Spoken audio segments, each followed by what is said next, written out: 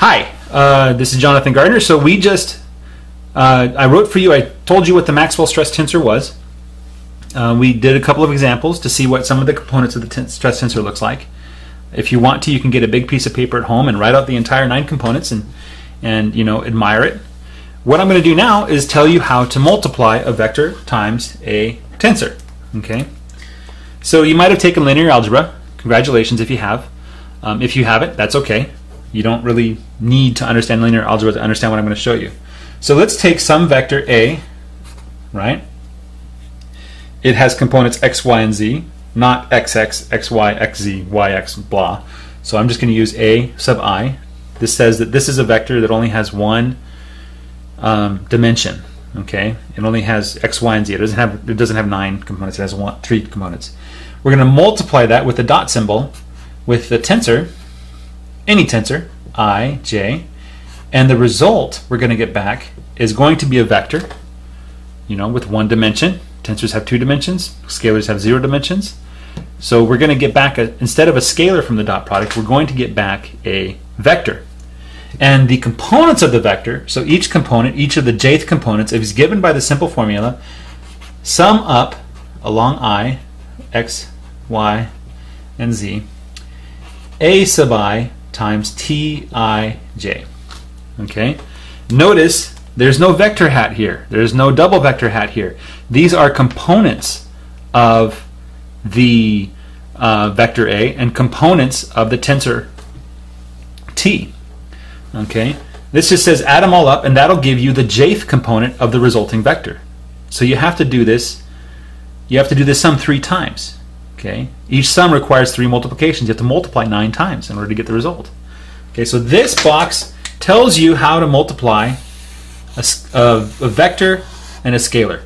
And you could write this out at home, you know, invent some vector matrix or whatever you want to do and you know practice doing a couple yourself, but this is the notation that's really simplest. It, it takes a little bit to get used to, but it's really the simplest. Okay? Now, we're going to calculate the divergence of Maxwell's stress tensor. So we take del nabla, which has three components. It behaves like a vector. I'm not going to draw a vector hat. I don't. It's not a, really a vector. It's an operator. We're going to do the dot product, same operation with our Maxwell stress tensor, which is a vector, which is a tensor. I'm sorry, two components. And would you believe it? We're going to get back a vector. Normally, the divergence gives you back a scalar, but when you take the divergence of a tensor, you get back a vector. And is it hard to believe that that is going to be equal to x, y, uh, i equals x, y, and z, not j, of,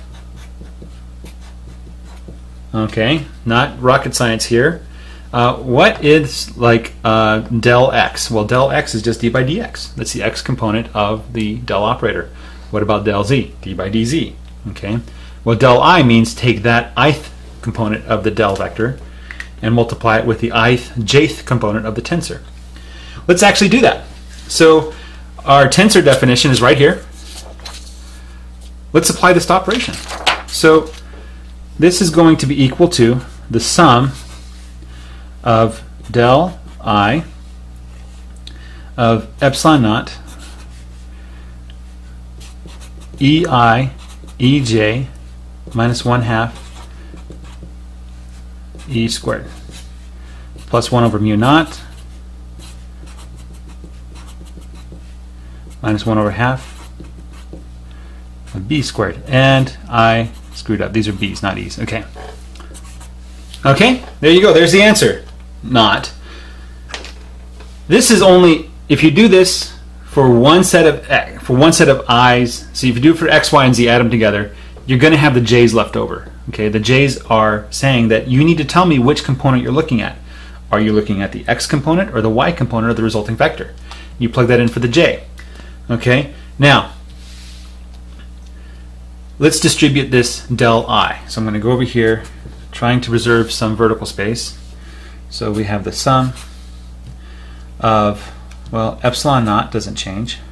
Let's put a big box around that. It's constant. But then we have del i, ei, need bigger parentheses, times ej, plus EI del I EJ. We can put these in a box like this. You'll see why later. I'm going to show you a hint as to why I'm doing that. If I could find the piece of paper that I had. Here we go. Here's a hint. Okay. You get it?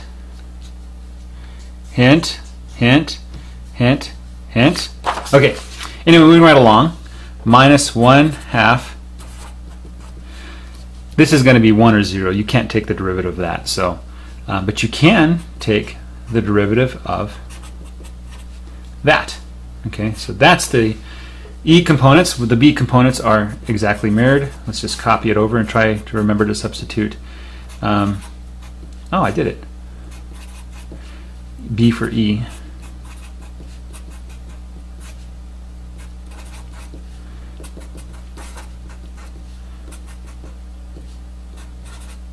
Did I do it? I think I did. Okay. This is one component. This is the jth component. Okay?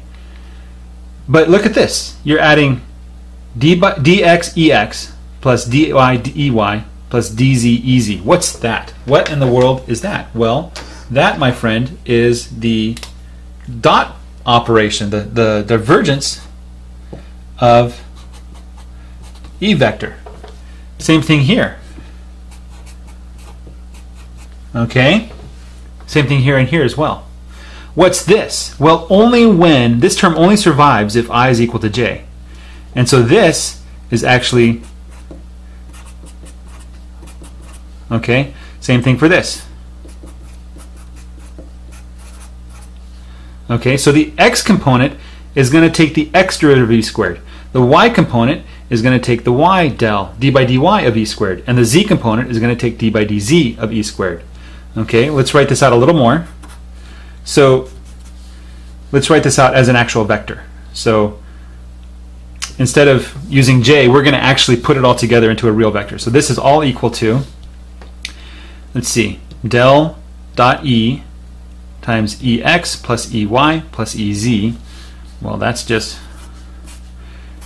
del dot e vector times e vector plus e vector dot del. We have ex in the i hat direction. We have ey in the j hat direction. We have ez in the k hat direction. That's just e vector. Okay. And then over here, we have dx in the i hat direction, dy in the j hat direction, and dz in the k hat direction. What is that? That is the gradient operation. Okay, plus 1 over mu naught. I'm just going to copy the letters. We don't have to think about the same logic.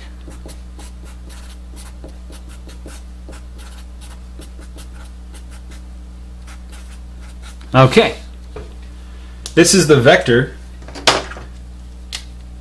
in more familiar vector notation that is the divergence of this Maxwell stress tensor. Okay, let me walk you through one more time. I think I kind of went a little bit fast there. Um, so imagine this is the jth component, right? So this, when you substitute j for with x, is all multiplied by i hat. And this, when you substitute j with y, is in the j hat direction. And this, when you substitute j with z, is in the k hat direction, right? And we don't have any weird multiplication things going on. We're just adding this times ex i hat, this times ey uh, j hat, this times e, e k, ez k hat. And so this is just basically this times the e vector. Same logic for this. This times the e vector. This guy's a little more subtle. First we had to say everything but the j term survives. Right?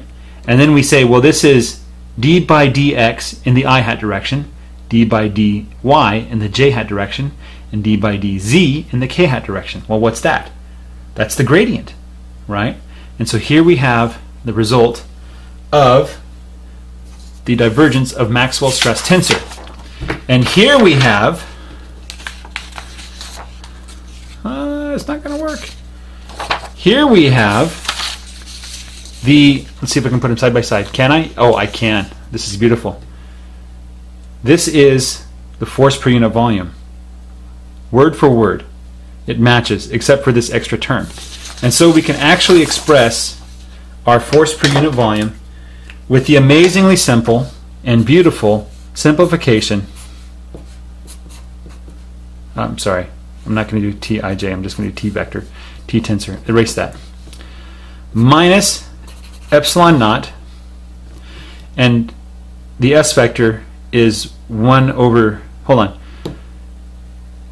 S vector is, is uh, 1 over mu naught E cross B, so E cross B is mu naught the S vector. So the Poynting vector. Okay. So let me write it out again. I totally bombed.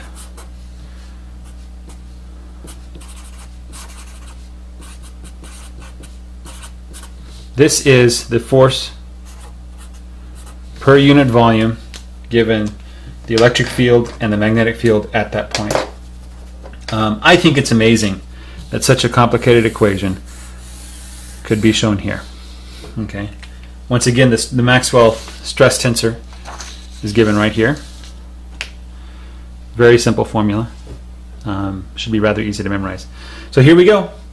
We have calculated the force per unit volume. And one final thing before I wrap it up. Let's calculate the total force. So the total force is the volume integral of this dA, dt, right? So we have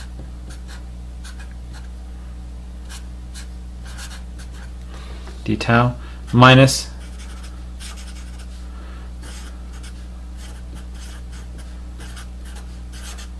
d tau, right? Let's apply the divergence there. So the force is equal to the surface integral of the Maxwell stress tensor dot dA vector minus epsilon naught mu naught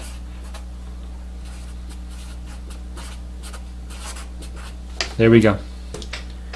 There is the Lorentz force equation with simplifications made possible thanks to Maxwell's equations. There it is. These, this is the the um, differential form, and this is the integral form. And I think it's time to call it a day. So, congratulate yourself if you're able to follow along. Take care and goodbye.